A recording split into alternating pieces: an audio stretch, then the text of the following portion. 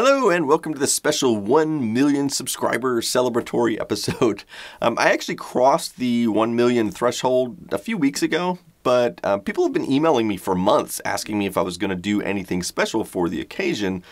And for quite a while, my standard response was simply to quote Dilbert. I will not be pressured into having fun just because we use a base 10 counting system and a big round number is coming up. But the real reason is short of unboxing this gold YouTube play button, I honestly couldn't think of a whole lot of interesting things to tell you guys. But the last few weeks, I've actually thought of some pretty interesting things, and uh, including a very small contribution I made to a recent episode of the um, hit TV series Young Sheldon, which I'll, I'll talk about in a minute. But uh, for the moment, let's go ahead and unbox this play button. Now, before I unbox the gold one, here's some footage I took but never showed of unboxing my last silver play button for 8-bit keys. Now, honestly, when I got these silver buttons, I really thought I had reached the peak of my YouTube career because I didn't think there were more than 100 people interested in the topics that I cover. But apparently I was wrong, so uh, let's open this gold button and see what it looks like.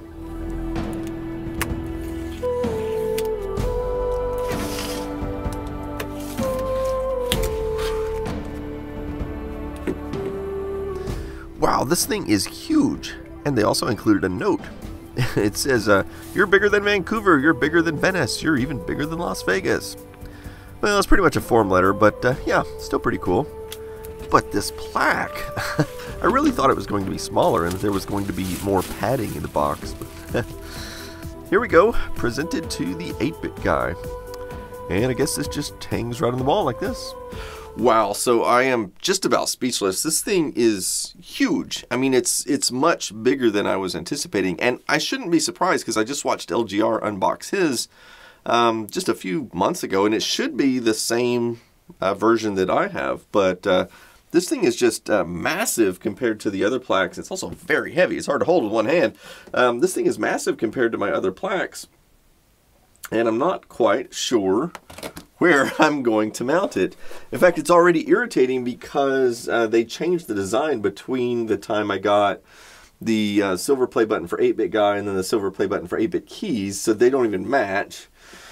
And uh, oh, and while we're at it, a lot of people have been asking me about the Planet X3 poster, but this is actually not a poster. This is, uh, I got this idea from Techmoan because he did a video on these a while back. This is actually a Planet X3 vinyl record that I have hanging up there. So uh, anyway, so yeah, I'm going to have to figure out how to rearrange this stuff. So by the end of the episode, maybe I'll have that figured out. But in the moment, let's talk about some other stuff. Hey Clark, today's the day. It's in the back. I'll go get it. What's he getting? So what was he going to get indeed? Uh, so yeah, I've got a little story for you. Several months ago, I received this phone call early in the morning from a nice lady that worked in the prop department for the TV show Young Sheldon. And she had a question for me uh, regarding um, some vintage computer equipment. Now, of course, um, I had to agree to keep all this confidential, um, at least until the episode had aired, which now it has, so I can talk about it. Uh, so the problem was um, Sheldon was supposed to be getting a modem, and they had found a modem to use, and I think they'd gotten it on eBay or something like that. And it was like a it was like an old Tandy DCM3 modem, direct connect modem, something like that. And so the way these modems work is they're just one step above the acoustic coupler. So um, it was a direct connect modem, meaning it connected between your phone and and the wall um, but um, when you wanted to dial the other computer, you would have to pick up the phone and then dial the computer, and then you would have to wait to listen for the carrier tone for the other computer. And then there was this big button on the front of the modem called connect. You would push, and then you would hang up the phone, and then your modem would be connected. Well, then, the, of course, the other problem was um, she had mentioned that this story is supposed to take place in the year 1990. And um, so yeah, that modem was already pretty obsolete by the year 1990, and I had a hard time believing that Sheldon would be going into Radio Shack and buying that brand new. I mean, if like were a hand-me-down or something, I could maybe see, but not brand new. The other problem, which I think was a more serious problem, is she said that the script required that um, the modem be able to dial itself, and they wanted to have an accurate representation of that. So um, they apparently didn't have uh, the correct kind of modem to use. And so she asked me if I could find them one.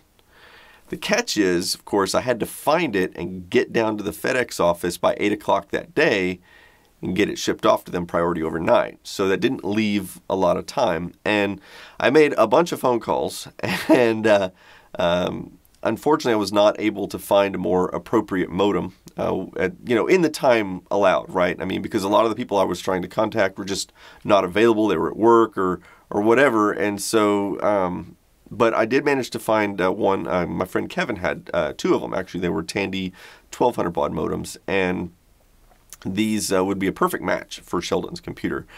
And uh, the trouble was they were just absolutely filthy, and they had marker residue all over them, and um, and stickers, and and they were yellow. And of course, I didn't have time to retrobrite them uh, because you know I had to get this shipped off with within a matter of hours. And uh, anyway, and of course, it was a 30 minute drive over there to pick them up and a 30 minute drive back. And then by the time I got back, I only had like maybe three hours to get these things cleaned up and then get them to the FedEx office. So uh, I did take some video of the cleaning process though. So. Uh,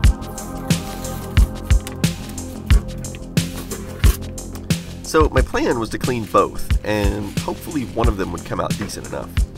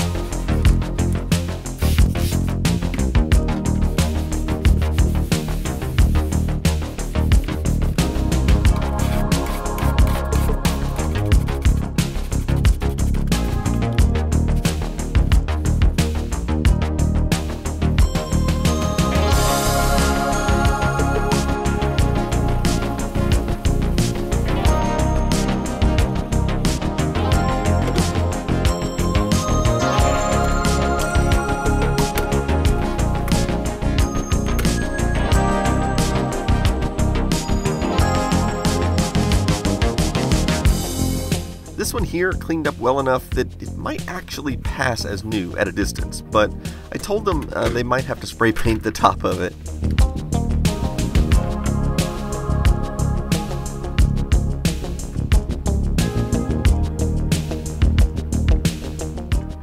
And just so you can see what it looks like powered on, and you can see the modem sitting next to Sheldon's Tandy 1000 in the episode. Good for me. Get out. So yeah, I was pretty proud to be able to help out, even if it was just in a small way, for one of my favorite TV shows. Um, I would mention though that in the narration, uh, Sheldon actually says it's a 300 baud modem, which is actually not true. That was a 1200 baud modem that I sent them. However, uh, they might have recorded the narration long before they got my modem, in which case the modem they were going to use was in fact a 300 baud. So who knows? So at this point, I just want to take a look back at the last three years that I've been doing YouTube, which I think is a significant portion of the time because the three years has been uh, how long I've been doing YouTube full time. And I've done quite a few neat things. And uh, one of the things that I've done is I've done a lot of traveling um, for the show. Uh, most of it was going to gaming conventions. And so I just want to show you some of the places that I've been. I've been to Austin like four times in the last three years. I've been to Orlando for two different events. I've been to Portland four times now for the Retro Gaming Expo there, uh, Chicago for the Vintage Computer Festival. I've been to Long Island twice and Providence, Rhode Island, and Oklahoma City. And looking at Europe, I've been to London with a stopover in Oslo, Norway, and earlier this year I was in Germany. So I'll show you some of the highlights. Uh, the Retro Gaming Expo in Long Island takes place inside of an aviation museum each year, which is pretty cool. In fact, they even have a complete lunar lander there uh, left over from the Apollo missions. Maker Faire in Orlando had so many neat things uh, that people had built, but I think that most impressive of all was this DeLorean, which was modded to look exactly like the one from Back to the Future. Also, at these places, I do get to meet a lot of other cool people and celebrities, but I wanted to give a shout out to one in particular, which is Warren Davis. He's the inventor of the game Q*bert, and he's a really nice guy to hang out with. And there was actually a mix up at the free play event in Florida, and they had forgotten to get me a table for signing autographs and stuff. And when Warren asked why I was just walking around aimlessly, I told him, and he offered to share his table with me for the whole event. In Rhode Island, the big highlight was getting a personal tour of the Rhode Island Computer Museum. It's mostly just a warehouse, but the size and scope of what they have in that place is truly breathtaking. Last year we went to London, and when I say we, I should point out that my wife often attends these events with me at least half the time. But for London, I took my wife and daughter, and uh, my wife is afraid of heights, so only my daughter joined me on the London Eye. Um, however, I have to give her some credit. Here's a photo from 2007. Yeah, that's 12 years ago. And uh, we were in London back then, and she did ride it at that time, but said she would never ride it again. As far as riding things in London, though, the Underground was actually quite an experience on its own. I mean, we, we just don't have anything like that where I'm from. Also, this was my first time to meet Perifractic in person, since he was, by sheer coincidence, also in London at the same time as us, visiting family. And um, we also made a trip to Brighton and rode on the i360, which is a pretty darn cool, and I recommend that as well. Moving along, this is the three of us in Oslo, Norway. Uh, fortunately, during the summertime, I got to visit Anders Jensen's little recording studio in person, and uh, this is us standing on the top of the Opera House there. But one of the neatest trips I did was earlier this year when I went to Germany for the Thomann event, which I did a whole video about over on 8-Bit Keys. And I got to meet a lot of other YouTubers and other just really cool people at that event. And uh, it was especially fun meeting Sam from Look Mom No Computer. He is quite a character. I also think I shocked the world in that video when people discovered I can speak German. Etwas uh, einfaches, äh, uh, etwas uh, vielleicht Spielzeug für Kinder. Yeah. Uh, many people emailed to ask how I learned it, so this picture here will shed a little bit of light. Uh, this is back from my high school days, probably around 1993. I took four years of German in school and was even involved in a German exchange program. And this is me on the left in the tie dye shirt, probably aged 18, and I'm with my exchange student in a little German town called Offenburg. So uh, that's why I can speak German.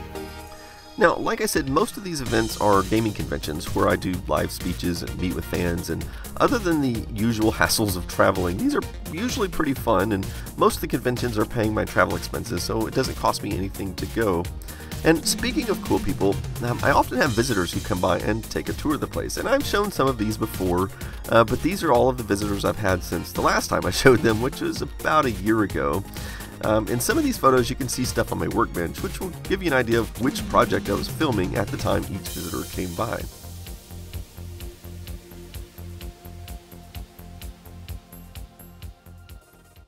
And now to finally hang that plaque.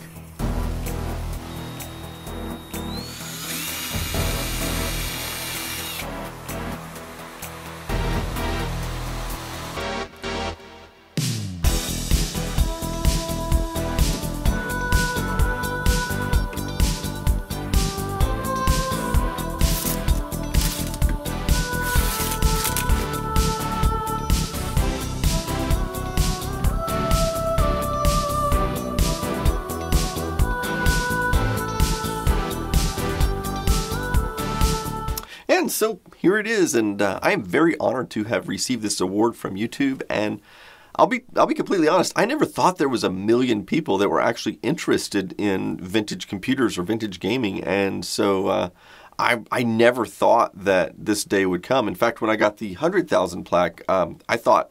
Well, that's got to be it. There can't be any more people out there. so um, I'm actually really happy that interest in vintage computing has uh, risen the last few years. So um, I think that's part of it. But I also had some announcements that I wanted to make. So a lot of people have been asking me if I'm going to run out of content ideas. And uh, the answer is no. In fact, I've got um, at least a hundred different scripts uh, partially written to more than I'll probably ever be able to actually produce. And uh, in fact, one of the problems I have is that I've got certain videos I've, I've sat down started to make four or five times and then now, something that will come up, some kind of time sensitive thing where I have an opportunity to make a video, but it has to be done right now. And then I'll just have to push everything else off into the future. And so there's just some videos I've been trying to make now for a year, and I haven't been able to, to get it done. but those uh, hopefully uh, will be coming soon. And a lot of people have been uh, emailing me lately, very concerned about my channel going away uh, because this child online protection privacy thing, whatever it's called. And I don't think you guys got anything to worry about. Um, first of all, my channel doesn't target kids, and none of my videos that I know of specifically target kids either. Granted, I do have some kids that watch my show, but um, 13 and under is by far not the target audience of this channel. And so I don't think I'm going to be affected by this at all. However, you know, when it goes into effect, I guess you know, I guess we'll see. Uh, if I do end up losing 90% of my ad revenue, um, well, I still don't think the channel is going to go away. Um, I get half of my income from Patreon as it is, and I, you know, I'm not one of those channels that go around and shove Patreon in people's face. Yes, it's in my end credits, but I never really talk about it um, during my videos. Which, by the way, I'll take this opportunity to tell you that every time I release a video, it is released to Patreon first. And so there's always all these comments down in the video saying, What's wrong with YouTube? It says this video was released, you know, 24 hours ago, and yet I'm just now getting the notification. Well, that's why. So hopefully you guys will stop um, commenting about that. But um, so anyway, you know, I know a lot of channels they'll shove uh, Patreon in your face. They'll tell you, oh, be sure to ring the little bell, and uh, you know, and for notifications and subscribe and all that kind of stuff. And and I just I don't do that. Uh, because I, I don't I don't I think it detracts from the quality of the videos and I'm fairly passionate about uh, what I make. And um, you know, I'm I'm fairly proud of the content that I produce, and I just don't want to poison it with a bunch of stuff like that. Um, but I think that if it came down to it, and I lost all of my advertising revenue, I could probably. Um, you know, make an appeal to my audience. Please support me more on Patreon, and I think that I think I could live off of that. So again, um, I don't think the channel is going to be going away. Oh, and the other thing, while we're talking about it, is you know I get uh, sponsorship requests all the time, and some of them are actually like really lucrative. Like I've had some people offer as much as twenty thousand dollars sometimes to you know uh, stick some kind of uh, you know sponsored ad in the middle of my YouTube video where I talk about some person's um, you know whether it's their phone app or some stupid product they make or whatever, and, and I just turn them down uh, over and over and over again. And because again, like I said, I feel like that kind of stuff detracts from the quality of the videos. And I want my videos to be kind of evergreen. You know, if somebody wants to watch a documentary about a Commodore 64, I want that video to be just as relevant 10 years from now as it is uh, when it's released. And so that's why I don't want to put any kind of permanent advertising inside my videos. But if it came down to it and I lost all my YouTube ads, then I might have to start doing some of that kind of stuff. But again, I don't think you guys got anything to worry about.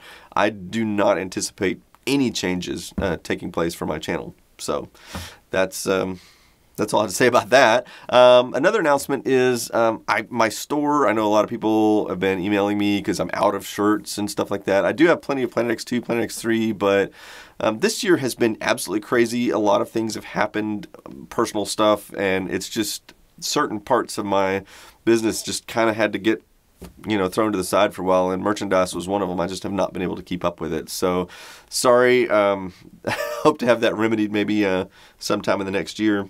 So another thing i want to talk about was email overload. So I know I've always said in the past that I try to answer 100% of emails that come in, but unfortunately, the quantity of emails keeps getting larger and the amount of time I have to answer them keeps getting smaller.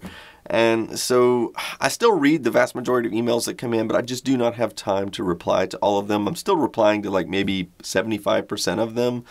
But um, so I'm just going to apologize in, in advance if uh, you've sent me an email and I have not replied, and that may be just unfortunately the way it has to be going forward. But I'm just just getting too many of them and and one more uh, little uh, thing to talk about, which is uh, people are always asking me uh, when I'm going to come to their town for an event or gaming convention or whatever, or where they can see a list. And believe it or not, I've actually had a list of scheduled events on my website for years now, but a lot of people don't know that it's there. So if you want to have a look and see like what cities or what events I'm going to be out next, uh, just just go to the scheduled appearances section on my website. And actually, right now there's not really anything listed there because uh, all the events for this year are done and I haven't finalized um, any of the events for the year 2020, which will be you know next year. So, but if you just keep checking back, I'm sure uh, over the next few months you'll start to see some stuff pop up in there of, of uh, some of the places I'm going to be uh, next year, and hopefully I'll get to go to some new places. I've, I've been doing a lot of the same places over and over again. the last few years, but uh, hoping this year to maybe branch out a little bit and go to some different places. So, um, but anyway, um, I guess uh, thank you everyone who's subscribed to my channel and who's been watching me for all these years and uh, helped to make this channel a success. And uh, like I said, I'm very honored to have hit the 1 million mark and um, hope to see many of you at future events as I uh, travel around and talk to people. And as always, thanks for watching.